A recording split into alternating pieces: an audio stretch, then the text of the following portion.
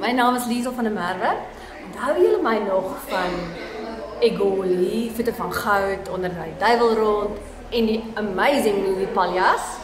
Uh, maar ons is nou in 'n dansgroep, 'n uh, adult two dansgroep wat uh, hiphop kompetisies doen uh, in Suid-Afrika en oorsee en hou ons dop.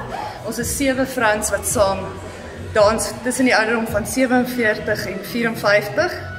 Vier van ons is dansonderwyseresse, die ander is drie mense wat al vir jare op dans. En dit is net 'n lekker manier van oefen. Ons hou nie van gym nie, hierdie is ons stress release en ons um relief whatever jy doen. Ek het aanvanklik begin dans vir oefening. Uh na kinders gehad het, het besef ek moet oefening kry. En um, hierdie was die, die lekkerste vorm van oefen wat jy kan kry want jy pret, jy jou liggaam beweeg, dit is goed vir jou siel.